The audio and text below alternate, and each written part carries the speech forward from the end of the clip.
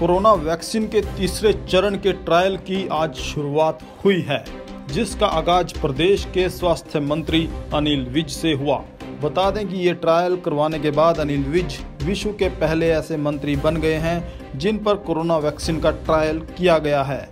इस ट्रायल से पहले डॉक्टरों की टीम ने विज के स्वास्थ्य की जाँच की थी, जिसके बाद विज ने गर्मजोशी से लोगों से अपील की है कि इससे डरने वाली कोई बात नहीं है। पहले स्वास्थ्य मंत्री हैं आप जिन्होंने ट्रायल अपने ऊपर तो आम जन नहीं नहीं आप देखिए अब किसी को तो आगे आना पड़ेगा। अब ये ट्रायल तो ह्यूमन पर ही होना है। और लगभग दो फ़ेज़ का पहले हो चुका सफल ट्रायल हो चुका। तीसरे फ़ेज़ का अब हो रहा है जिसमें पच्चीस हज़ार आठ सौ लोगों पर ये ट्रायल किया जाएगा।